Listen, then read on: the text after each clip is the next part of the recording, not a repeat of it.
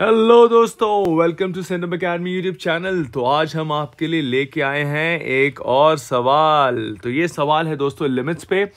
तो आइए देखते हैं सवाल है क्या? So we have to evaluate a limit of n factorial divided by under root of n times n by e whole to the power n n tending to infinity so दोस्तों, यहाँ जो ऑप्शंस दे रखे हैं, वो different varieties के हैं. एक तो ऑप्शन कहता है कि L is equal to root under root two pi option C भी कहता है रूट पाई बी और डी एस्टिमेशन हैं। तो दोस्तों ऑप्शन देख के तो ये लगता है कि हो सकता है मल्टीपल ऑप्शन करेक्ट हो। ठीक है? तो चलिए, देखते हैं सवाल को सॉल्व कैसे करना है। दोस्तों, यहाँ सबसे पहले तो मैं बता देना चाहूँगा कि ऐसे सवाल को सॉल्व करने के लिए एक प्री रिक्विजिट होगी। क्या होगी प्री रिक्विजिट ये प्री रिक्विजिट होगी नोइंग द वॉलिस फॉर्मूला ठीक है? तो देर इज़ अ वॉलिस फॉर्मूला जो कि एक एस्टिमेशन है पाई का। इनफैक्ट एस्टिमेशन नहीं है, ये बेसिकली पाई की वैल्यू निकालने में मदद ही करता है। तो ये वॉलिस फॉर्मूला है क्या? ये वॉलिस फॉर्मूला कहता है कि अगर आप कुछ ऐसा प्रोडक्ट लिखते हो वन देखिए ऑर्डर देखिए मैं कैसे लिख रहा हूँ। One two two three three four four five five six डा डा डा डा ऐसे करके आप इन्फिनिटी तक लिखते हो तो ये वैल्यू होती है पाई बाय टू के बराबर। किसके बराबर? पाई बाय टू के बराबर राइट तो इसी चीज़ को अगर हम लिमिटिंग केस की तरह लिखें, एक लिमिट की भाषा में लिख दें तो हम कह सकते हैं कि ये जो एक्सप्रेशन होगा, ये जो एक्सप्रेशन होगा डा डा डा डा n tending to infinity so this will be equal to pi by two this will equal to pi by two तो दोस्तों, ये अगर आपको नहीं पता है तो चलिए इस वीडियो के माध्यम से आपको पता चल गया। पर आपको, अगर आपको ये पता है तो इसी चीज़ को आप यूज़ कर सकते हो इस प्रॉब्लम को सॉल्व करने के लिए, राइट? तो यही तो है आज का आर्ट, कि कैसे इस वॉलिस फॉर्मूला को हम लोग एक लिमिट इवेल्युएशन में यूज़ कर सकते हैं। हम लोग सबसे पहले तो देखेंगे कि न्यूमिनेटर में आपके दो बार टू हैं, दो बार फोर हैं, दो बार सिक्स होंगे डा डा डा, टिल दो बार टू एन है। तो numerator is clearly two into four into six all the way till two n to the power of two ठीक है? डिनोमिनेटर में अगर आप चाहें तो इन टर्म्स को, इन टर्म्स को ऐसे लिख सकते हो one into three into five up till two n minus one square क्योंकि वो भी डबल डबल बार होंगे। वन हालाँकि डबल बार नहीं है बट वन को डबल बार करने में कुछ जाता भी नहीं है। One square is equal to one और ये जो लास्ट का टर्म है टू एन प्लस वन ये ऐसा ही रह जाएगा। ठीक है? So this whole thing so this whole thing is equal to pi by two correct अब मैं दोस्तों क्या करूँगा? न्यूमरेटर और डिनोमिनेटर में मैं मल्टीपल्स ऑफ़ टू के स्क्वायर्स को मल्टीप्लाई कर दूँगा right so what i am doing next is i am multiplying the numerator and denominator of this expression with squares of the multiple of 2 तो ज़ाहिर सी बात है कि आपके न्यूमरेटर पे ये बन के आ जाएगा। और डिनोमिनेटर में जो मैं मल्टीपल्स ऑफ़ टू स्क्वायर को इंट्रोड्यूस कर रहा हूँ, वो मैं यहाँ पे कर दूँगा। ठीक है? तो इससे क्या होगा? आपका one two three all the way till two n minus one in two two n whole to power of two आ जाएगा। ओके और टू एन प्लस वन तो ऑलरेडी हमारे पास था ही तो उसको हम वैसे ही रहने देंगे। ठीक है? So this whole thing is equal to pi by two this whole thing is equal to pi by two चलिए दोस्तों, अब इसको थोड़ा सा और सिंप्लीफाई करते हैं। ना न्यूमरेटर में क्या करूँगा मैं? सारे मल्टीपल्स ऑफ़ टू से मैं टू टू टू निकाल लूँगा। तो अगर मैं टू टू टू निकाल दूँगा तो मेरे पास टू एन टाइम्स कलेक्ट हो जाएगा यहाँ पे, ठीक है? और जो बाकी के टर्म्स होंगे, वो होंगे one into two into three which is actually n factorial ठीक है? So numerator will get simplified to two n into n factorial whole to power four ठीक है?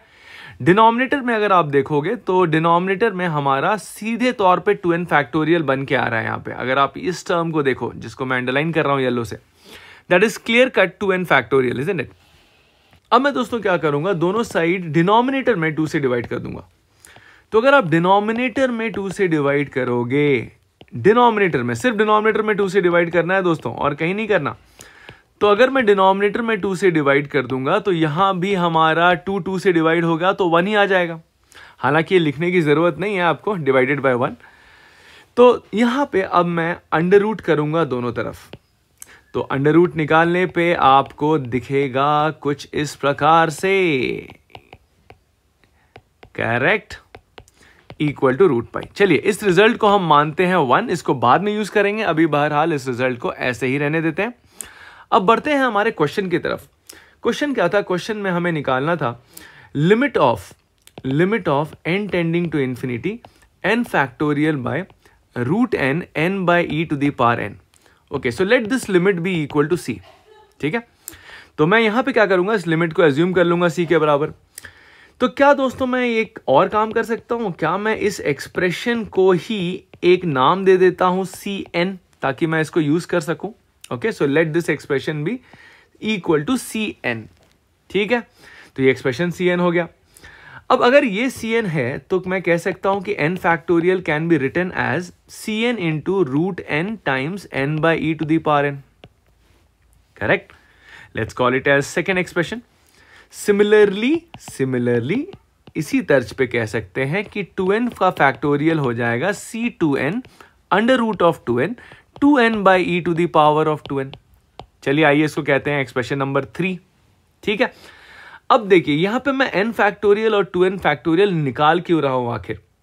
तो वापस बढ़ते हैं हम लोग उस वॉलिस फॉर्मूला से डिराइव्ड लिमिट पे।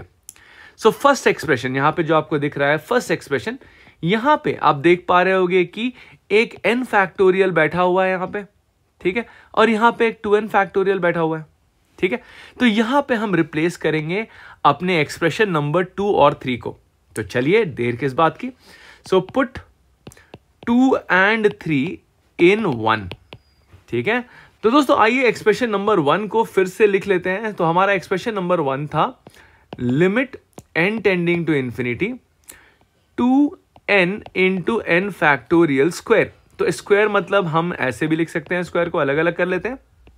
Divided by two n factorial under root of two n plus one divided by two correct so this was under root of pi ठीक है?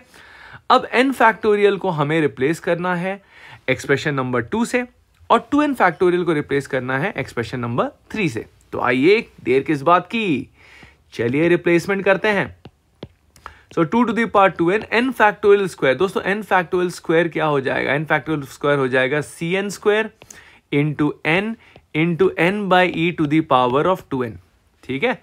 तो एक्सप्रेशन नंबर वन को हम लोगों ने तो एक्सप्रेशन नंबर टू को हम लोगों ने यहाँ इस्तेमाल किया है। So C n square n n by e to the power of two n ठीक है?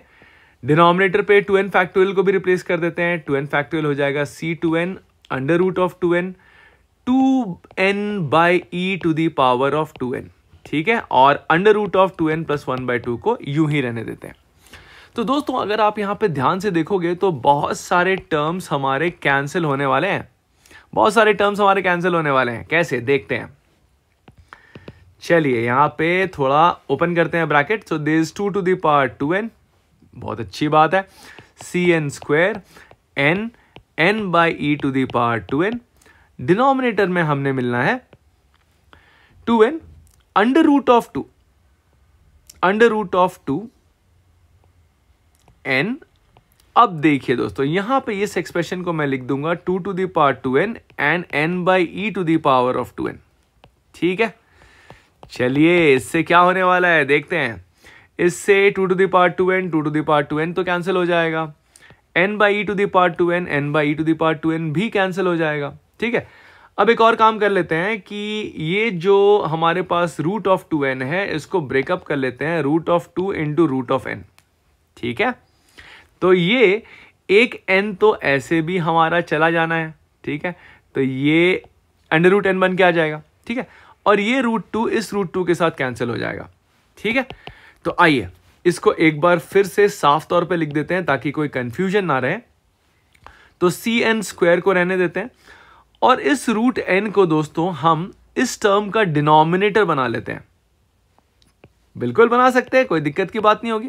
तो अगर मैं बना लूँ तो मुझे मिलने वाला है कुछ इस प्रकार से। ठीक है? ठीक है? दोस्तों as n tends to infinity as n tends to infinity हमको ये मालूम होगा कि जो सी एन है और सी टू एन है, ये दोनों बराबर हो जाएँगे। Correct so now as n tends to infinity we know that C n and C two n will be same दोनों में कोई डिफरेंस नहीं होगा। तो अगर ऐसी बात है तो क्या हम इसको लिख सकते हैं सी की तरह? तो let C n equal to C two n equal to C तो पूरा का पूरा जो हमारा लिमिट का एक्सप्रेशन था वो कुछ इस प्रकार से बैठ जाएगा सी स्क्वायर बाय सी और दोस्तों यहाँ पे हम कुछ एन से डिवाइड करके ऐसे लिख देंगे इसको। ठीक है? कोई दिक्कत की बात नहीं है। सो so, एक सी एक सी तो कट जाएगा। और one by n as n tends to infinity will go to zero तो overall the expression that you will get on the left hand side is C by root two और right side पे root pi है। इसका मतलब क्या दोस्त? इसका मतलब ये कि हमारा सी हो जाएगा under root of two pi ठीक है? तो दोस्तों, हमारा आंसर यहाँ पे आ जाएगा। ऑप्शन नंबर ए तो बिल्कुल ही बिल्कुल सही है। और साथ ही साथ और साथ ही साथ हम सबको मालूम होगा कि two into pi is somewhere near to six point two eight जिसका अंडर रूट आपको near about two point five ish होगा तो ऑप्शन नंबर बी भी सही है। तो दोस्तों, आशा करता हूँ कि आपको इस वीडियो से काफ़ी कुछ सीखने को मिलेगा स्पेशली वॉलिस फॉर्मूला का इस्तेमाल कैसे करना है लिमिट्स निकालने में। तो ये आपने इस वीडियो से सीखा होगा। Thank you so much for watching